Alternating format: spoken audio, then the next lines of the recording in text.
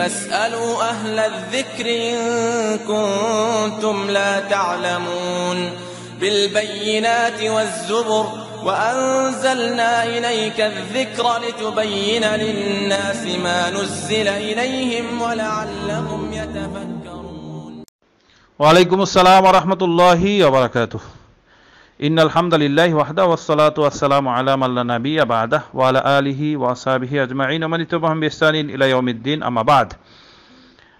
India থেকে এক ভাই প্রশ্ন করেছেন, নাম কারিমুল হক। তিনি প্রশ্ন করেছেন যে, কোরবানি কি সাত ভাগে দেওয়া যাবে? হ্যাঁ ভাই আপনি সুন্দর প্রশ্ন করেছেন, কোরবানি সাত ভাগে দেওয়া যাবে। লাজনা দায়েমার ফতোয়াও একই যে, কোরবানি দেওয়া যাবে একটি গরু থেকে সাতজন। হাদিসে এসেছে, আপনি অনেকগুলো হাদিসে পেয়ে যাবেন। যদি আপনি খোঁজেন, তাহলে পেয়ে যাবেন। এই ব্যাপারে অনেক বইও বেরিয়ে বেরিয়েছে। মুকিম অবস্থায় ভাগা কোরবানি, সাত ভাগে কোরবানি। এ ব্যাপারে একটি বই বেরিয়েছে, বইটা লিখেছেন শেখ আখতারুল আমান বিন আব্দুস সালাম মাদানি অর্থাৎ আকরামুজ্জামান সাহেবের তিনি তিনি সম্পাদনা করেছেন, তার ছোট ভাই তিনি বইটা লিখেছে। আরেকটা বইও আছে, যেটা বইটা আকরামুজ্জামান বিন আব্দুস সালাম মাদানি সাহেব লিখেছেন, যে ঈদ ও কোরবানির মাসাইল। তো এই সম্পর্কে আপনি বইটা পড়ে নিতে পারেন। আর মনে রাখবেন, সাত ভাগে কোরবানি করা জায়েজ। লাজমা দায়মা বলেছেন, যারা বলছেন জায়েজ না, তারা বলতে চাচ্ছে যে বিশেষ করে যে সাত ভাগে কোরবানি নবী করিম সাল্লাহ সাল্লাম হুদাইবিয়ার সন্ধির সময় পশু সংকট থাকার কারণে সফর অবস্থায় দিয়েছেন। কেউ যদি সফর অবস্থায় দেয়, তো এখনও দিতে পারবে। এই একটি যুক্তি তারা বলেছে যে, সফর অবস্থায় দেওয়া যায় মুকিম অবস্থায় দেওয়া সাত ভাগে কোরবানি দেওয়া যাবে না, এ ব্যাপারে কেউই দ্বিমত পোষণ করেন নাই। দ্বিমত যেটা প্রকাশ করেছে যে সফর মুকিম অবস্থায় দেওয়া যাবে কিনা একটি বিষয়।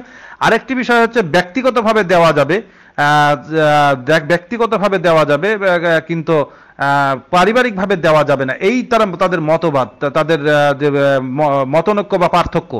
তো এখানে তারা আবার দলিল এনেছে নবী করিম সাল্লাল্লাহু আলাইহি ওয়াসাল্লাম বলেছেন, ইয়া ইউহান নাসি ইন্না আলা কুল্লি আহলে বাইতিন ফি কুল্লি আমিন উদহিয়া আল্লাহ রাব্বুল আল্লাহ নবী সাল্লাল্লাহু আলাইহি ওয়াসাল্লাম বলেছেন যে, হে মানব সকল তোমরা প্রত্যেক বছরই প্রত্যেক ফ্যামিলির তরফ থেকে প্রত্যেক পরিবার তরফ থেকে একটি করে কোরবানি দাও। আর ভাগ বিশেষ করে ভাগে কোরবানির ব্যাপারে সাত ভাগের উট এবং সাত ভাগে গরুর ব্যাপারে যে হাদিসগুলো এসেছে তারা বলতে চাচ্ছে যেগুলো সাতজনের পক্ষ থেকে সাতজনের পক্ষ থেকে আর কোরবানি করতে হবে ফ্যামিলির তরফ থেকে। কিন্তু লাজনা দায়মা বলার যে ফতোয়া দুটাই উল্টিয়েছেন যে নবী করিম সাল্লাহ সাল্লাম সাত ভাগে কোরবানির আরও হাদিস এসেছে আন বাকারাতি সাবা ওয়াল জাজুর সাবা কোরআন আহ, উ- গরুতে সাত ভাগে কোরবানি করো এবং উটে ইয়ে, সাত ভাগে কোরবানি করো। এটার ব্যাপারে কোনো সফর মুকিম আহ, মুকিম এ কথাটি উল্লেখ নাই। আরেকটি বিষয়ে যারা বলতে চাচ্ছে যে ব্যক্তিগতভাবে দেওয়া যাবে পারিবারিকভাবে দেওয়া যাবে না কিন্তু লাজনা দাইমার ফতোয়া অনুযায়ী তারা বলতেছে যে হ্যাঁ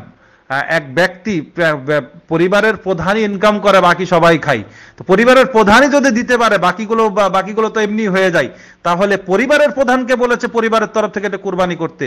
আর ব্যক্তিগতভাবে করলে পরিবারের তরফ থেকে হয়েই যায়, তার মানে এক ব্যক্তি হচ্ছে পরিবার তার মানে পরিবারের তরফ থেকেও হবে এবং মুকিম অবস্থায় হবে, সাত ভাগে কোরবানি হবে। আর আরেকটি বিষয়ও, যারা হবে বলে আরও দলিল পেশ করেছে, নবী করিম সাল্লাহ সাল্লাম অনেক সময় যখন গনিমতের মাল ভাগাভাগি করতেন, তখন একটি উটের পরিবর্তে সাতটি ছাগল দিয়ে দিতেন।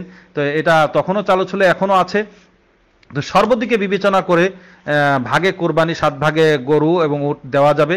কিন্তু মনে রাখতে হবে যে, আমাদেরকে একটি বিষয় মনে রাখতে হবে যে ভাগে কুরবানির চিন্তা আমাদেরকে প্রথম না করে একাকি দেওয়ার চেষ্টা করতে হবে। সেটা একটা ছাগল হোক, ছোট্ট একটা ছাগল হোক, একটা ভেড়া হোক মনে রাখতে হবে ভাগে কোরবানি হচ্ছে সবচাইতে নিম্ন মানের কোরবানি, সবচাইতে নিচু মানের কোরবানি হচ্ছে ভাগে কোরবানি। এর মধ্যে খারাপ মানুষ থাকে, সুদখোর থাকে, ঘুষখোর থাকে, এর মধ্যে অনেক বেনামাজে থাকে, অনেক সমস্যা এসে দাঁড়ায়, একটি সমস্যা আছে। আর এই জন্য খুব নিম্নমানের কোরবানির নাম হচ্ছে ভাগে কোরবানি। আর যদি একটা গরু আপনি কেনেন সত্তর হাজার টাকায়, দশ হাজার টাকা, দশ হাজার টাকা একটা খাসি ভালো মতো পাওয়া যায়। আমাকে আগে মনে রাখতে হবে, কোরবানিটা একটা ইবাদত এবং আল্লাহ সুবাহান হুয়া তাআলার নৈকট্য অর্জন করার একটি পদ্ধতি। আর এই পদ্ধতি হচ্ছে কোরবানি। এই কোরবানির মাধ্যমে আল্লাহ সুবাহান হুয়া তাআলার নৈকট্য অর্জন করতে হবে। যদি তাই হয় তাহলে কোরবানি করতে হবে ইবাদত মনে করে, তাহলে আপনি, আপনার গরু দেওয়ার সামর্থ্য না আপনি আপনার যদি সামর্থ্য থাকে আপনি বিশাল বড় উট দেন, সবচাইতে উত্তম কোরবানি। তারপরে আপনি গরু দেন, তার চাইতে উত্তম কোরবানি একাকি গোটা একটা গরু, গোটা একটা উট দিয়ে দেন, সবচাইতে ভালো হবে। তারপরে আপনার উত্তম কোরবানি হচ্ছে দুম্বা খাসি, তারপরে হচ্ছে ভেড়া। তাহলে আপনি যদি একটা খাসিও কোরবানি দেন, পুরো ফ্যামিলিতে যদি দশ জন থাকে, তা থেকে কবুল হয়ে যাবে। দশ জনের তরফ থেকে আদায় হয়ে যাবে। তো এখানে আপনি মনে রাখবেন, একটি ছোট খাসি দেন, যথেষ্ট আলহামদুলিল্লাহ। এটা আপনার জন্য উত্তম কোরবানি। ভাগে কোরবানি হচ্ছে সবচাইতে নিম্নমানের কোরবানি। আপনি নিম্নমানের ফতোয়াটা কেন মানতে যাবেন ভাই? বারবার ভাগে কোরবানির প্রশ্ন না করে। আর আপনি জানেনও আপনার ইন্ডিয়ায় গরু জবাই করলে অনেক সময় সমস্যাও হচ্ছে।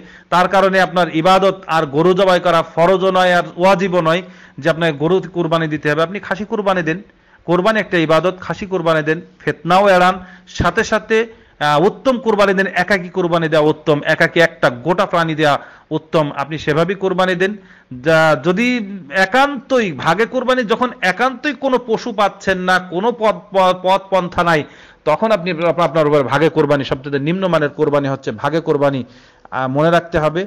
তো আশা করি আমরা ভাগের দিকে না গিয়ে একাকি গোটা একটা প্রাণী দেওয়ার চেষ্টা করব। আল্লাহ সুবাহান হুয়া তাআলা আমাদেরকে সেই তৌফিক দান করুক। আশা করি ভাই উত্তর পেয়েছেন। আসসালামু আলাইকুম রহমতুল্লাহ বারকাতুহ।